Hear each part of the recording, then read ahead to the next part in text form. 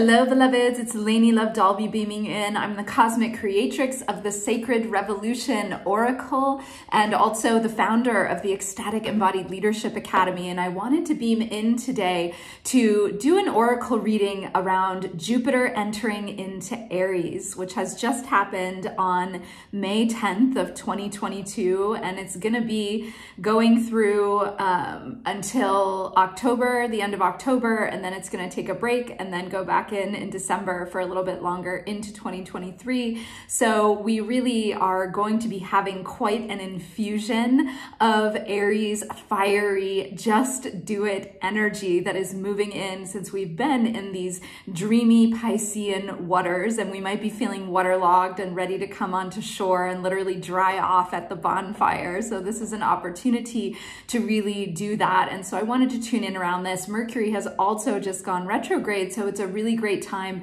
to continue to look within, to deep dive, to do divination, to work with oracles, and to really investigate the deeper layers that are wanting to be excavated now as we move into this really potent transit.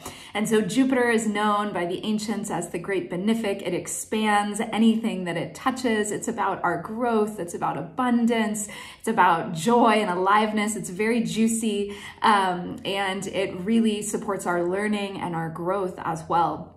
And with Aries, Aries is the fire sign that is very individualistic. It is first. It likes to, you know, be bold and brave and really um, be a trailblazer and blaze new paths that have never been trodden before. And so it's it's a really powerful time of light and energy and vitality and movement and expansion and stepping into more of our potential. We've been in this space of dreaming, and now that we've been able to tune into the big dreams, now it's time to take action and make them happen, to step forward one foot in front of the other, make the dream happen. And I love so much that right during this transit is when the second edition of the Sacred Revolution Oracle is going to print and it is going to be here in a little less than two months time. So as we're in this fiery portal, we're going to have the second edition. It has three new cards and I'm so excited to be able to share the continuation of the medicine with you as it goes out into into the world in even a bigger way.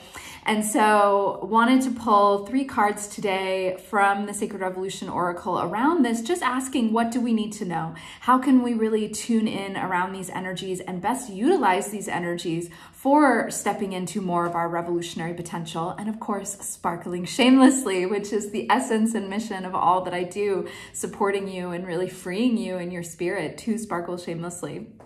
So really tuning in around the around the, this with the oracle here. And there were three cards that came through that I wanted to share. And so the first one is number 26, which is the Cosmic Creativity Activation card.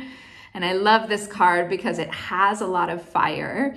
It has a lot of energy. It has a lot of vitality. It has transformation and expansion and just a lot of energy moving in it. And the fact that it is an activation card is very suited for this moment because Aries, this energy of Jupiter and Aries, it is an activation we are being activated into really taking action, into moving forward, into really catalyzing the next the next step of our of what we're here to birth and who we're here to be. So this is the first card.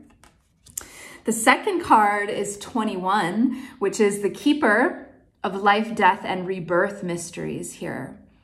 So just letting yourself tune in to this card. The keeper of life, death, and rebirth mysteries.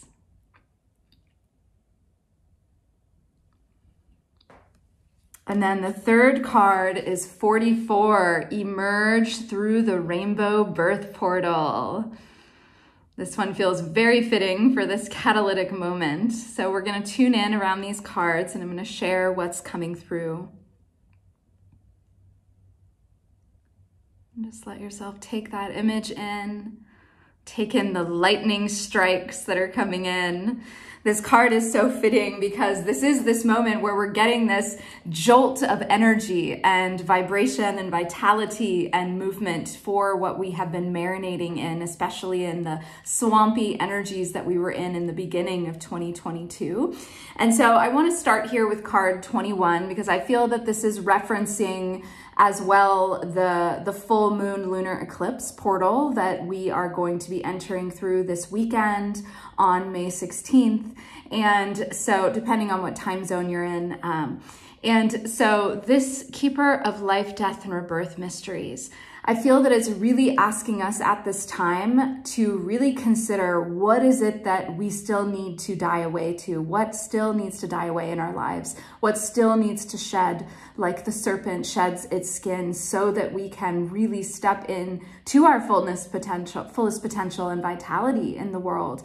And so really looking at the places of, of karmic baggage that you might be carrying, especially with this Scorpio full moon and you know any abuses of power that might have happened or are currently happening really really looking at what needs to go now so that this new life can be born through you so that the dreams that you've been fostering and holding within you can truly be born can be reborn perhaps even since this is also about rebirth mysteries. But what is it that really needs to be shed so that you can fully step in now. So really considering that in this portal and also knowing that this energy of Jupiter and Aries, there is a lot of newness. You know, Aries is the first in the astrological wheel, so it's like new birth. And so it is this place of new birth and really considering what is it that wants to be birthed through you in this next year with these energies? What are you creating in your lives? And as this card is coming in, it's like, what are you creating from the depth of your sovereign throne of primordial creation? You are the cosmic creatrix of your life. And in that, we are also collectively the cosmic creatresses of our world and what is transpiring. So, what is it that you really want to catalyze with your creative energy? This is about tuning into that full trifecta that I've talked about many times that we're going deeper into in the mystery school, in the Sovereign Sisters Rising Mystery School of our spirituality, creativity, and sexuality all coming online together and fully moving. And that that is really going to fully activate this medicine bowl that we all have within that is the seat, that primordial throne of our cosmic creation. And so what is wanting to be born through you? You can see there's two little eggs here that are being held. They're yoni eggs actually, but it's, you know, what is it that is wanting to be born now? What is it that you are tending to? Since we're still in this Taurus season, what are you tending to? What seeds are you tending lovingly and with care that you really want to birth with the fire of this Jupiter and Aries energy, with this jolt of lightning? And in that, as we are bringing forward these new creations, they are emerging through the rainbow portal and really creating great transformation in our world. They are catalyzing massive transformation, a blossoming of energy, quantum healing, new beginnings. This card really brings all of that energy and it's really, you know, letting the old paradigm die away so that we can truly step in to this new paradigm led with our cosmic creativity, with our full energy, with our life force and vitality. That's really what Aries brings. And this card has so much life force and vitality and energy. And there's also the dolphin here, which loves to play and be in joy. So how can we really allow this moment to help bring us alive? I talk about that so much. It's such a core part of all the work that we do in the academy and here with the Oracle deck as well. It's like, what is going to bring you wildly and unapologetically alive? And letting yourself move towards that letting that be the thing that stimulates your rebirth. So really looking at what kinds of containers do you need to support you. And I had actually pulled a clarifying card as well that's wanting to come in. And the clarifying card is womb level, energetic womb level nourishment. So really asking here, what is going to most nourish you on this journey? What kind of containers are going to be able to hold you for this level of creation? What kind of sisterhoods do you need to call in? What kind of support structures in the tangible 3D do you need? Like this temple here. This can be the body temple, but it can also be a temple structure of what you're creating to hold you and all that you are birthing in this next year from this sovereign throne of creation within you from your from your medicine bowl that really contains your unique gifts and medicine that only you can bring. So really looking at what kind of containers do you need, what kind of support, what kind of nourishment, what kind of food, what kind of rest, because Aries energy can be go, go, go, just do, and it can be very fast moving. It can have a lot of momentum and, you know, it can lead us to burnout if we aren't really mindful of that piece of nourishment. So really looking at what do you need to be nourished and what structures do you need to support you in birthing this next level of who you're here to be and in really creating what it is that you're here to create? That gift that only you can give to the ecosystem that is going to nourish us all. So when we are deeply nourished we can nourish the world with our deepest gifts and medicine. And so in that, you know, containers, for instance, like our Sovereign Sisters Rising Mystery School that is really all about helping to catalyze this energy of bringing forward the fullness, that next version, the emergence of who you are here to be of, of really what you are here to bring, of your full medicinal power. We are igniting that full creative, spiritual, and sexual power in the mystery school. And we're actually beginning on Sunday for the full moon Scorpio lunar eclipse to really catalyze these really potent energies and that karmic clearing that wants to happen. We're really going to be cleansing any old karma, any patriarchal bonds and wounds, and really any body harm, and really coming back to our full empowerment, our full ecstatic embodied leadership potential, and being able to really move forward and channel our Aries fire and our life force towards our biggest dreams towards those dreams that have been waiting for us all their life, that are going to support us in stepping into our destinies, because this is a moment that can catalyze our destiny this energy of Jupiter and Aries, it's a big, expansive energy. And so this is a moment to say yes to your destiny, to say yes to who you're here to be, to say yes to your fierce feminine firepower and to channel that in service to the greater good, to the heart of what matters most now, to really know that there is so much happening in the collective that needs our love, that needs our sacred rage, that needs the deep well of our compassion, like the unfurling fragrant rose that that we can stand up and say, I am taking a stand for this. I will no longer tolerate this. I am bringing my gifts and medicine and creations to support change and transformation here now. Because that's what this card is really about. We are in a great turning of the ages, a time of great change and transformation. And we are here as catalysts and way showers and heart warriors for this new paradigm, for this new earth. And this card is really sharing that. It's time for us to blossom into the fullness. There's the butterfly here. There's all the flowers. We are metamorphosizing into the next highest version of who we are here to be now. And we really need to call in that nourishment and support for that to happen. And so really looking at what containers now can hold you deeply hold you and steward this growth and support you and guide you in this growth. You know, whether it's it's getting an oracular astrology one-on-one reading to really tune in around these energies to see how you can best channel them whether it's finding a circle, whether it's creating your own. Maybe if you've been wanting to catalyze sacred circles in your life, you could step into our Sacred Circle Leader certification to support you like bringing forward the big dream now and getting yourself the nourishment you need for that to be a reality, for your creativity to come forward, for you to be sustained on all levels of your being so that you can truly soar now with the wings of the butterfly. You can see the theme of the butterfly, The butterfly is here.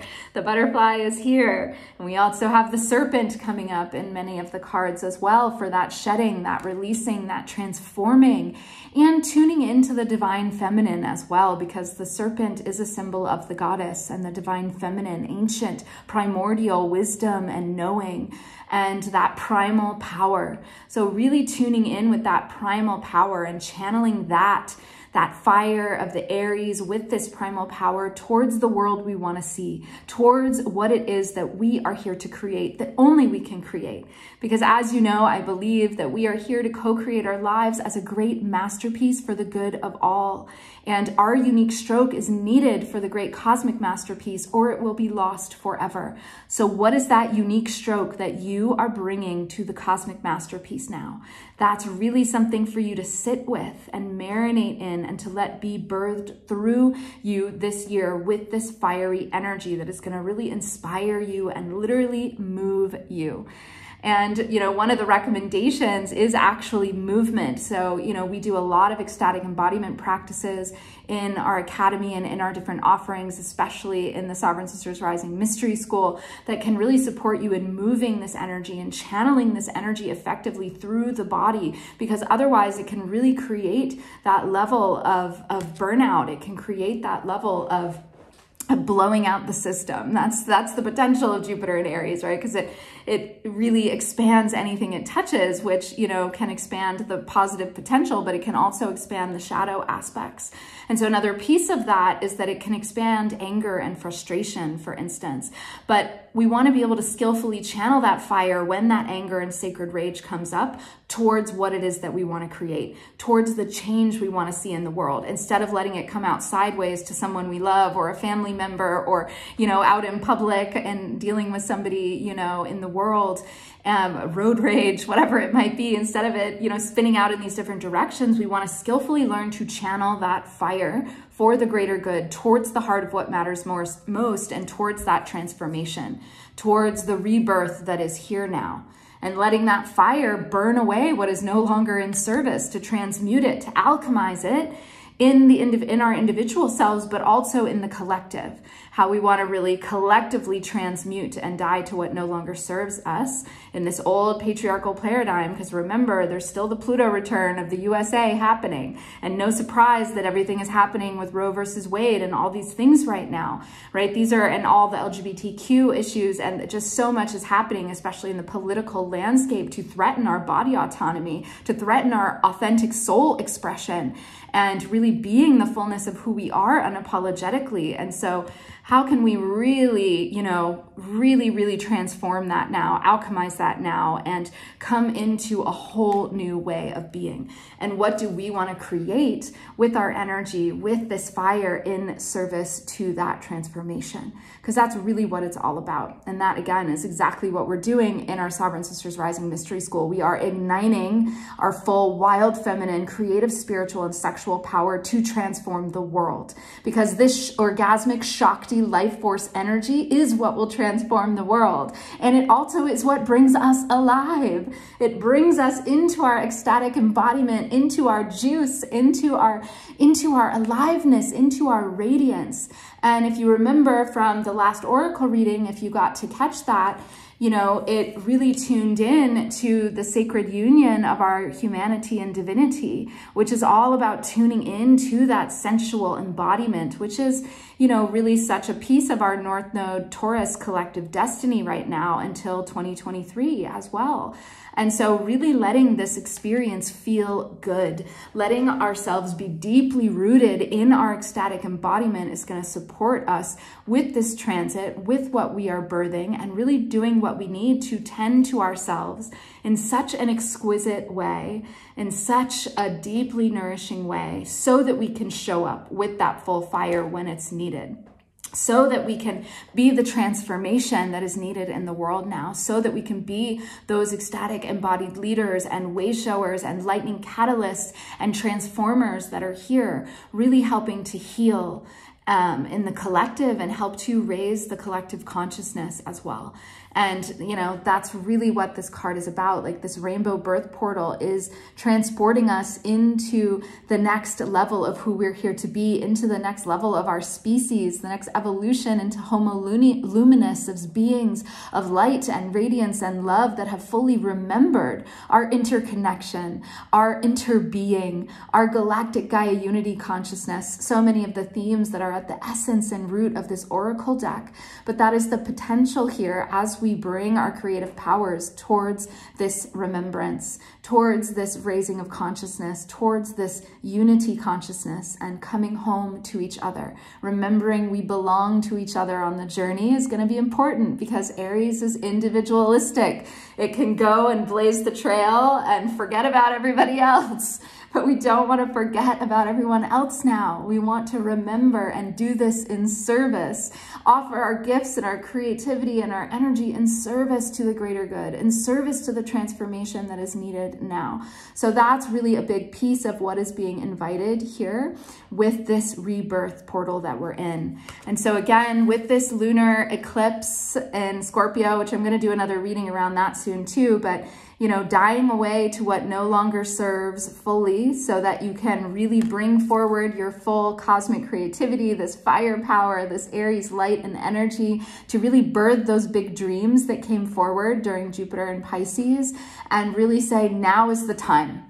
Now is the time to take action. Now is the time to move forward. Now is the time to catalyze the dream and really start taking action today to not delay. That's what Aries offers us. And we're in a really big portal of energy, especially between May 25th and May 29th. Really pay attention to what happens in that time, what is catalyzing for you, what is moving, because what is lighting up your fire, because that's going to offer you the flavor of this entire transit. And so really at the end of the month, tuning in around that and also intending what you want this portal to be for you, what you want this transit to be, how you want to utilize this creative fire and energy for the greater good of all.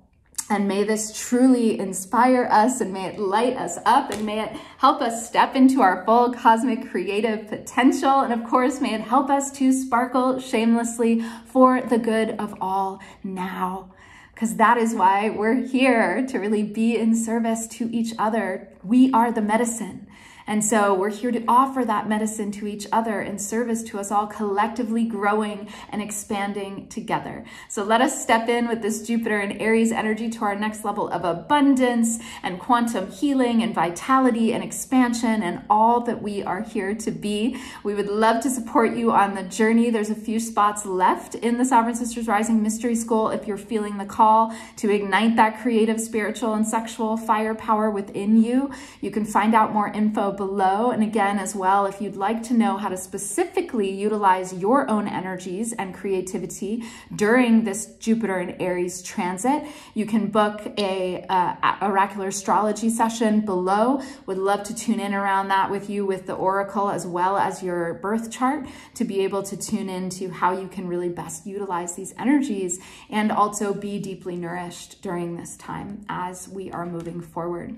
And so bringing forward that creative power, that power of raw, pure creation is the biggest gift we can give right now during this portal. And may we all tune in that to that together and just so excited to support you in any way in that journey as well. And we can't wait to see you next time. Until then, Click like below if you enjoyed this video, comment, let us know how this is resonating for you. What are you wanting to create? What is this fire inspiring in you? How are you feeling it in your ecstatic embodiment? and just really tune in with us around that. And then be sure to subscribe so you can get all the future readings. And until next time, sparkle on, beloved, and we'll see you soon. Bye for now.